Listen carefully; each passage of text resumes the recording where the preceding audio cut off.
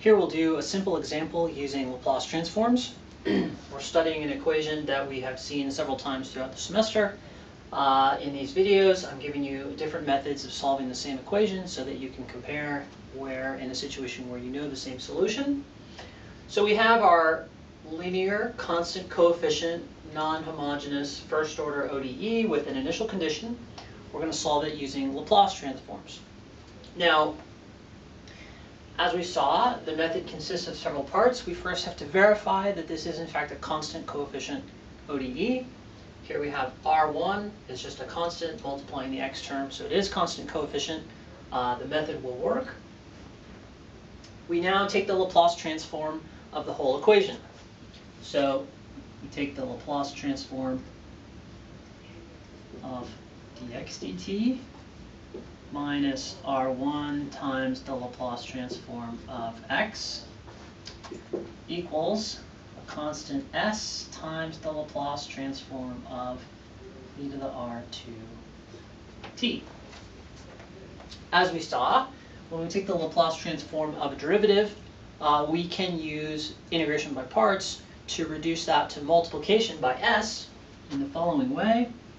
We get minus x of 0 plus the Laplace variable s times the transformed solution x hat of s, which at this point is still unknown.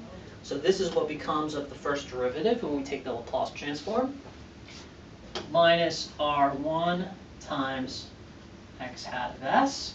This is just how we write the Laplace transform of x of t. And finally, we take the Laplace transform of the right-hand side, and I've just written down a couple of things that will be useful that I looked up on a table.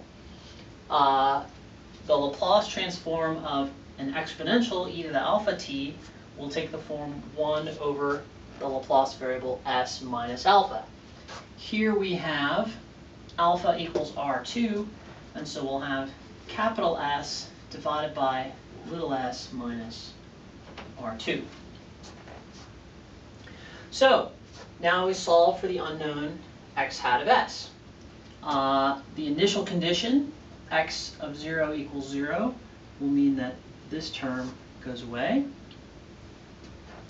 And collecting like terms, we have s minus r1, x hat of s, equals capital S over s minus r2, or x hat is capital S times uh, S minus R1 times S minus R2.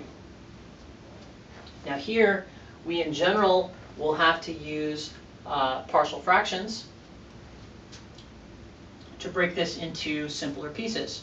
So we can write that, I'll pull out the factor of S, and I'll write it then A over S minus R1 plus B over S minus R2. If I multiply both sides of this equality, where we're uh, first taking the, the general form of the answer, this comes about from the partial fractions theorem, and now we have to find the coefficients A and B. Uh, multiplying through, we obtain on the left-hand side S, capital S, and on the right-hand side equals, again, capital S times capital A, S minus R2 when we cross multiply, and capital B times S minus R1. So,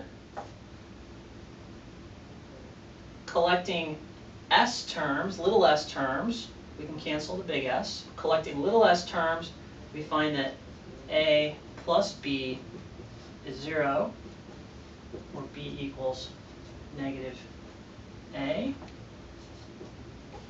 And negative R2A minus R1B equals 1. So we have B equals minus A, that gives us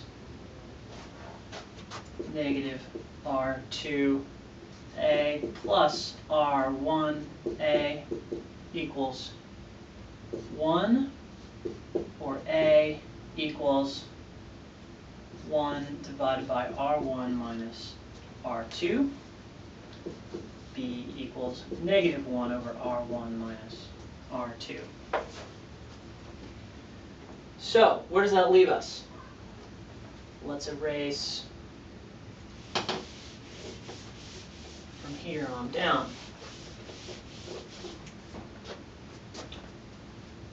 That leaves us with x hat of s equals capital S times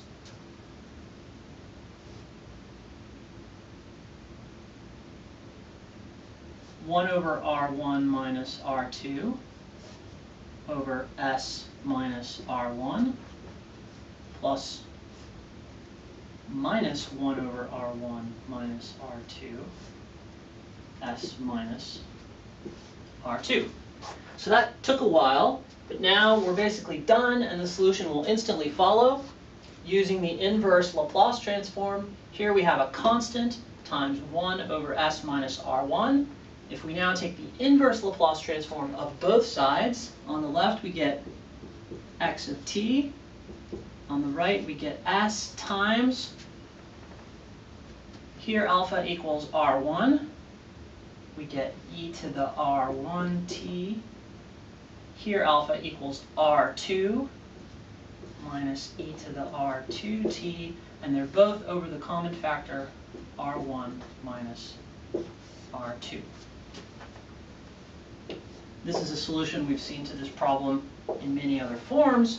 It uh, required some partial fractions in the middle, but everything besides the partial fractions was pretty straightforward. Take the Laplace transform, get an algebraic equation for the Laplace uh, the, the solution in the Laplace variable x hat of s, that's just algebra. Break that algebraic solution into simple pieces and then invert. Uh, so it's switching to a better space for solving these kinds of problems where differentiation reduces to multiplication. Now, I want to say one more word about the resonant case. What if R1 equaled R2? If R1 had equaled R2, we would have gotten, though it's no longer on the board, we would have gotten x hat of s is s over s minus r1 squared. Where r1 equaled r2, they would have both shown up in the same place. You can go back in your notes and, and see that. And if we had gotten this solution for our solution in the Laplace variable, x hat of s, we could have then looked up a different uh, inverse transform on a table and said, here, here we have uh, the inverse Laplace transform of 1 over s minus alpha squared. It's t e to the alpha t. So we would have immediately been able to go, this would have been even easier than the problem that we did solve. The, the, we wouldn't have had to do partial fractions. We could have immediately said that x of t is s t e to the r1 t. And that solution uh, we have seen in various forms satisfies the, the resonant case where R1 equals R2.